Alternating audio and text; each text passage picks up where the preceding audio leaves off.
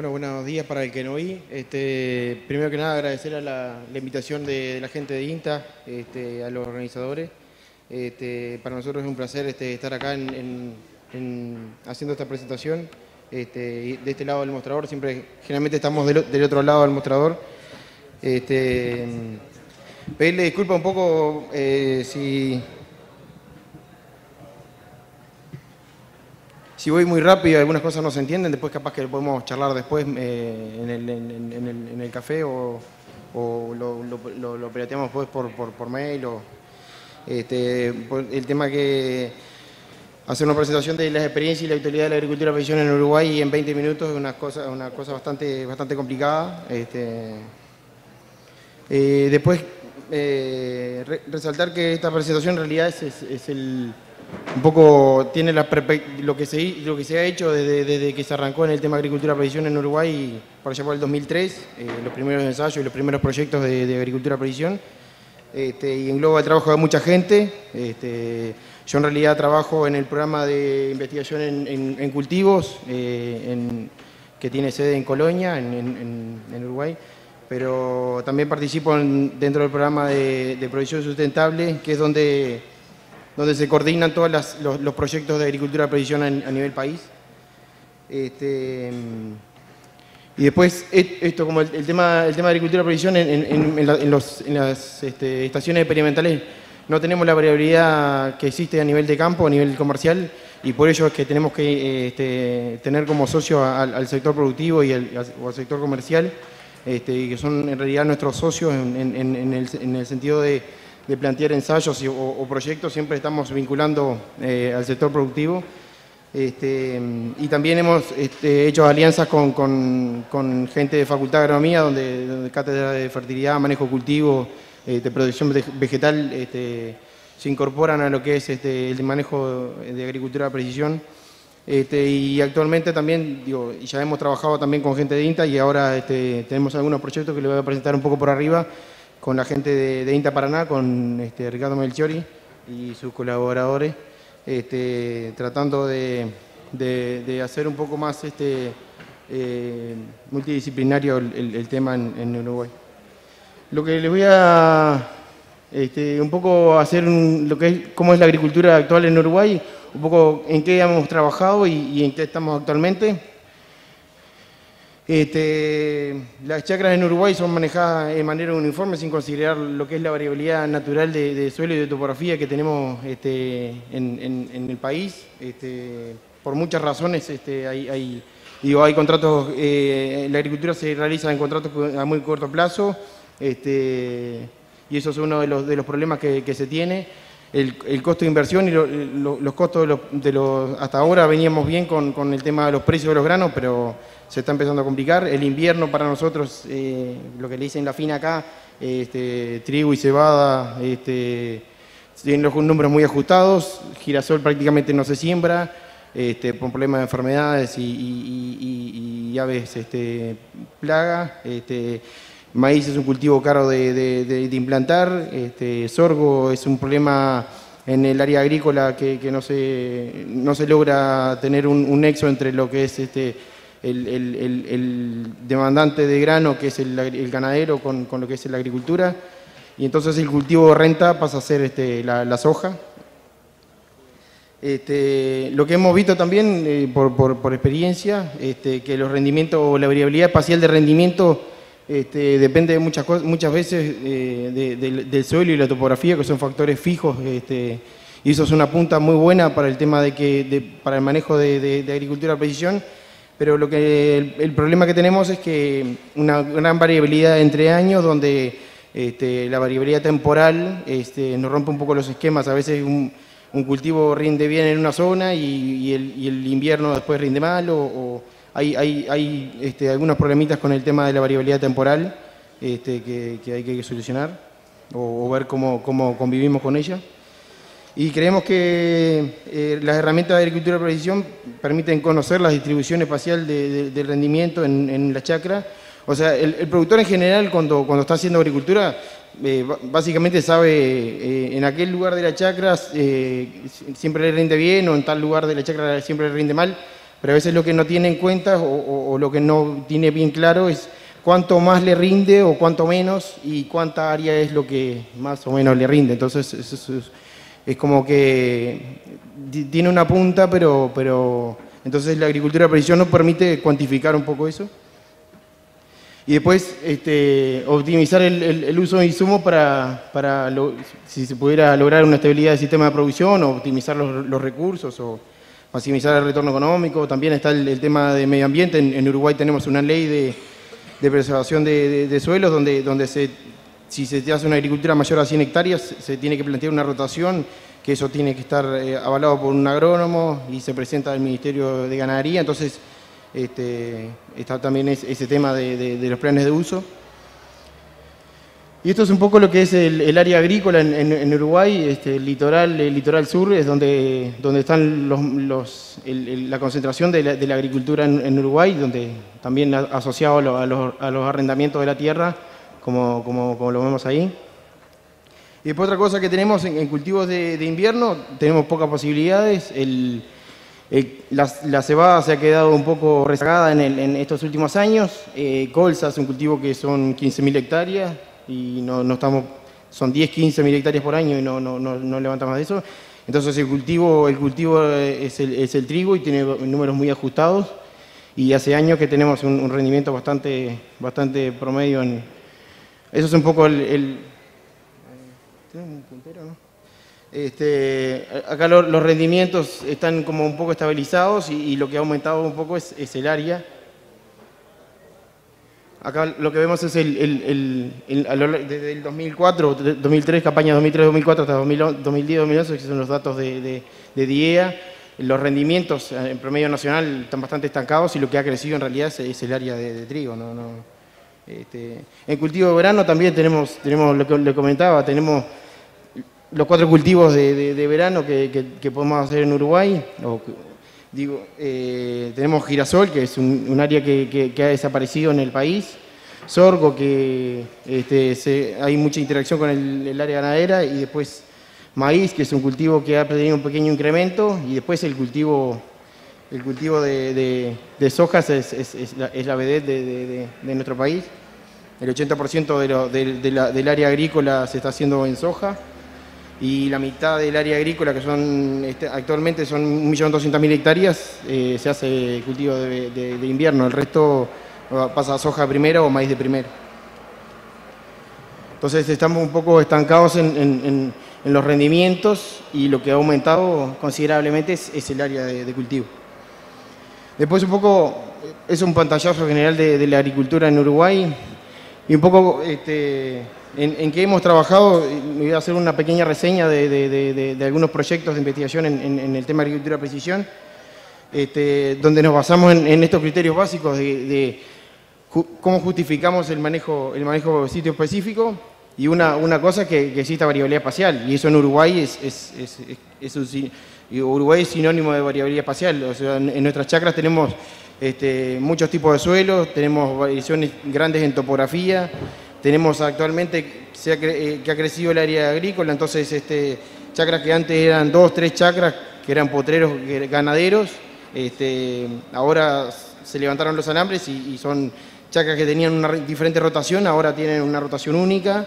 Este, entonces, eh, Después también en el tema de variabilidad espacial, el, empotreramiento que, tenemos fue pensado para la ganadería y, se, percibe, todavía se sigue manteniendo ese, límite de empotreramiento que, fue pensado para ganadería. Entonces variabilidad espacial la tenemos asegurada. El problema es identificar y cuantificar esa variabilidad espacial y para eso creemos que la agricultura de precisión nos puede dar una mano bastante importante y de hecho nos, está este, dando una mano importante. Y después el, desafío es, es, bueno, Sabiendo que tenemos la variabilidad espacial, después que logremos identificarla y cuantificarla, tener el conocimiento científico agronómico para lograr un beneficio productivo, económico o ambiental de, un manejo variable en, nuestro campo. Estos son un poco los antecedentes que, hemos desde, desde INIA, este, algunos talleres que se hicieron por allá por el 2003-2004, los primeros talleres de agricultura precisión en, en, INIA 33, que es, al este y en, el litoral del país, en la zona agrícola. Este, después se están haciendo algunos cursos de posgrado en el tema agricultura precisión. este, donde se ha incrementado bastante la cantidad de gente que está entrando en, estos, sistemas, en, estas este, capacitaciones. Eh, hay una demanda bastante importante y hay muy poca gente que, entienda o que tenga esa cabeza de, que la, chacra no me rinde 3.000 kilos, sino que hay zonas que me rinde 1.000 y hay zonas que me rinde 5. Eh, entonces, eso es un poco el cambio de cabeza que tenemos que tener y manejar las cosas georreferenciadas. Este, un poco lo que, lo que le decía, los, arranques de, los primeros trabajos en, el tema agricultura precisión arrancaron en el este del país con, zonas arroceras. Este, eso es un ensayo de, los primeros que se plantearon proyectos de investigación en, el tema, donde planteaban este, muestreos en grilla este, y, fajas de fertilización eh, fija este, y monitoreando el rendimiento y tratando de explicar las razones de, por qué rendía más o menos en función de, los, datos de, laboratorio o de las características de cada uno de los puntos de, la chacra. Por allá por el 2006-2008 también hay algunos proyectos de investigación conjuntamente con, eh, consultoras este, en el litoral del país este, y otros proyectos de 2006-2011 que trataban de describir la, variabilidad y la relación con el rendimiento. Este, también en ver el tema de las, herramientas y de la delimitación de zonas de manejo. Eh, establecer la interacción entre esas zonas y, las prácticas de manejo que se están haciendo de siembra, fertilización, este, materiales genéticos. Y eso redundó en algunas este, formaciones de algunos de los técnicos. Este, y, difusión un poco del tema agricultura precisión y ensayos en, fajas. Estos un poco son relevamientos que se hicieron en, chacras este, eh, agrícolas donde se tiene en cuenta eh, mapas de elevación, mapas de suelo detallados, eh, índices topográficos, por ejemplo el, índice de mojado, donde el agua, donde, donde de la chacra nosotros tenemos variaciones importantes este, en el tema de topografía, entonces este, independientemente de que nos llueva lo mismo en, la chacra, hay ciertas zonas donde acumulan agua y ciertas zonas donde se le va el agua por, topografía y estos índices andan bastante bien para explicar este, esa, dinámica del agua, explica bastante bien cómo son los rendimientos después en, cultivos, por ejemplo, en, cultivos que le afecta el drenaje como, cultivos de invierno este, esas zonas son en realidad perjudiciales para, el rendimiento o de menor potencial y zonas de y en, cultivos de, verano como maíz o soja este, son zonas de alto potencial de rendimiento porque están muchas veces asociados a suelos más profundos. También trabajamos con el tema de conductividad eléctrica, este, mapas de rendimiento y, generando zonas eh, en base a, esas, a esas capas de información y atravesando ensayos en, esa zona de, manejo. Después un poco también eh, en base a esa información de, base, guiar, este, guiar los muestreos donde, y donde se encontraban altos rendimientos de, los cultivos, en este caso este, una serie de mapas de rendimiento de, cultivos de verano, donde se encontraban altos rendimientos, encontrábamos suelos eh, mucho más profundos en realidad en, Uruguay tenemos el problema de que eh, la capacidad de almacenaje disponible eh, potencial es, muy baja, eh, estamos hablando de 180 o 200 milímetros como, mucho, este, entonces este, dependemos netamente de, las condiciones climáticas y las precipitaciones para, asegurar este, los rendimientos de, los cultivos. Pero estos, altos rendimientos tenían, eh, tenían la, coincidencia de, suelos más profundos comparado con los rendimientos medios y comparado con, los donde siempre rendían, rendían, rendían mal, este, suelos bastante someros. Este, y esto es bastante común de encontrar en, las chacras nuestras, este, donde tenemos a veces, por esa, por esa eh, herencia que tenemos del empoderamiento que, fue pensado para la ganadería, que no, se tuvo en cuenta este, el manejo de, o, los diferentes tipos de suelos para, plantear el empoderamiento. Entonces, tenemos cosas de este tipo. Este es un, es un establecimiento de, 800 hectáreas eh, en el litoral del país. Después otro, otro proyecto como el Innovagro, que terminó el año pasado, donde se siguió con el tema de limitación de zonas de manejo y tratando de desarrollar este, y adaptar tecnología para la fertilización variable en zonas de manejo, donde se comparaban este, dosis fija y dosis variable. Y tuvimos este, algunos ensayos donde fueron muy provisorios y otros ensayos donde en realidad los, datos no, marcaron diferencias bastante grandes, no marcaron grandes diferencias, o sea, seguimos sin, entender bien por qué en algunas chacras la fertilización variable es mejor y, por qué en otras es, bastante, eh, como decía el amigo de Bolivia, es, un poco complicado de digo, estas, estas estrategias de fertilización este, comparado con la variable, comparado con la dosis fija, a veces este, nos dan un poco dolor de cabeza. Y después el inicio de trabajos con sensores y fertilización variable en maíz y trigo, tratando de utilizar este, algunos este, sensores de, de, NDVI y también son, son proyectos que, que demarcan formación y, difusión en el tema de agricultura de precisión a nivel productivo. Y después otro, otros, otros este, proyectos de, investigación en, zonas de manejo, tratando de, estimar la capacidad de almacenaje del suelo mediante sensoramiento remoto, que eso fue un poco lo, lo que es la tesis de maestría de algunos de los, de los técnicos que andan ahí de, ADP. Este, la topografía y atributos de terreno, este, cómo, cómo influyen sobre, sobre, sobre los rendimientos de los cultivos y el tema de normalización de mapas de rendimiento, juntando serie de mapas de rendimiento, tratando de explicar zonas que tengan este, baja variabilidad o, zonas que siempre, tratando de encontrar zonas que siempre rinden bien, dónde, son, dónde están las zonas que siempre rinden mal y, a veces zonas que, tienen dualidad de, comportamiento, tratando de, explicar por qué se están dando esos resultados. Y actualmente estamos en, el tema eh, ensayos en fajas y normalización de mapas de rendimiento en diferentes este, sitios del país con, esos objetivos. Este. Este, también estamos con el tema de, estimación del estado de los cultivos, con el tema de monitoreo en estado de los cultivos y estimación de rendimiento previo a cosecha, que eso son algunas de las tesis que están en marcha de, maestría y de doctorado.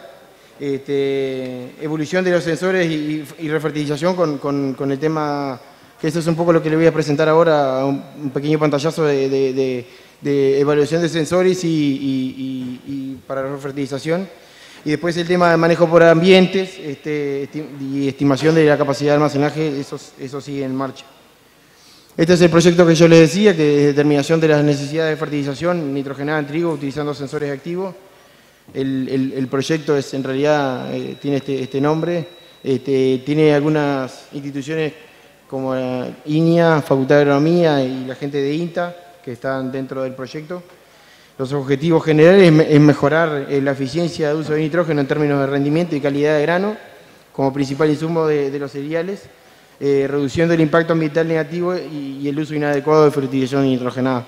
Muchas veces lo que pasa es que cuando nosotros, digo, a, ustedes les pasará lo mismo cuando, cuando hacemos dosis, dosis eh, lo que estamos haciendo en realidad es subfertilizando algunas zonas y sobrefertilizando algunas otras. Entonces, tratando, eso es lo que tratamos de, ver en el, proyecto. Eh, el tema de utilización de sensores activos que, tienen, emiten una luz y, miden cuál es la reflectancia, cuál es la luz que, refleja en base, en base a estos algoritmos. Este, la ventaja de, estos sensores es que tienen muy bajo costo operativo, este, las mediciones son bastante estables, este, las mediciones también son independientes de, la luz del ambiente, son de relativo fácil uso y, dan un dato en el momento. No hay que hacer postprocesos y eso, cada punto tiene una información de, de NDVI y permitiría la, aplicación de, sobre la marcha, o sea, sensores montados en, equipos de fertilización, donde eh, este, hay algunos desarrollos de, maquinaria que, tratan de, ver el tema de, sensoramiento activo y, refertilización en base a, los, datos del sensor en, forma instantánea. Para nosotros es una cosa que lo estamos evaluando, pero eh, creemos que, que esto tenemos un paso de, calibración y, que es bastante importante para nosotros. Este, estamos un poco en, ese tema. Y después permiten eh, capitalizar el, tránsito de maquinaria, por ejemplo, un mosquito donde tenga que hacer una aplicación de, por ejemplo, fungicida, instalamos los sensores y en ese mismo, en ese mismo tránsito por la chacra este, podemos, podemos captar la, variabilidad. El problema es que tiene una baja resolución espacial y, este, y es equiparable a un, mapa de rendimiento. Pero, en realidad es una ventaja y una, y una, y una potencialidad. Estos son algunos de los este, estos son algunos de los, de los, este, de los relevamientos que hemos hecho a nivel de chacra. Este es un campo en, en, Colonia, este, cerca de la estación experimental, donde este es el, utilizando el crop, eh, scanner. Y la, idea es este, mejorar el, modelo de fertilización. Nosotros en cultivo de invierno tenemos este, un manejo que es este, nitrógeno, eh, chequear el suelo eh, a, siembra, después chequear el suelo a Z22 y después chequear eh, nitrógeno en planta en Z30 para ajustar porque tenemos muchos problemas de lisiviación de nitrógeno. Este, y el tema de, mejorar el, modelo de, Z30 con, sensores, este, verificando el, área foliar, el nitrógeno en planta, el nitrógeno absorbido, materia acumulada. Y para eso se, presentó, se hicieron el año pasado una red de experimentos este, en el litoral del país, donde cuatro sitios, tres cultivares, este, seis dosis de, nitrógeno y a Z30 se determinaron estas, estas, cosas. Estos son los diferentes sitios, que eso, eso es una cosa que, nos rompe un poco los esquemas, que hay diferentes sitios que se comportan de, diferente manera, este, en, lo que es, este, acá tenemos el, nitrógeno agregado en, Z, en Z22, y, el rendimiento en, toneladas por hectárea. Lo que sí tenemos como, como, buena cosa es que esas, estas, estos sensores en realidad están, están asociados este, eh, bastante fuerte relación con nitrógeno absorbido, con índice de área foliar, con peso seco de la, de la planta. Este, y después tienen alguna pobre relación con lo que es este nitrógeno en planta. Este, esos son algunos de los resultados de la red del, año pasado.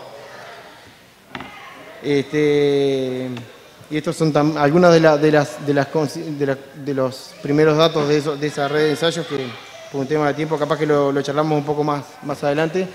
Y como comentarios finales, eh, el tema que hace años se trabaja en el tema de agricultura de precisión y, a pesar de eso siguen persistiendo algunos, algunos problemas como el tema de cuáles son los criterios para, eh, necesitamos criterios uniformes y claros para delimitar eh, ambientes. Este, yo si me, voy a una chacra de...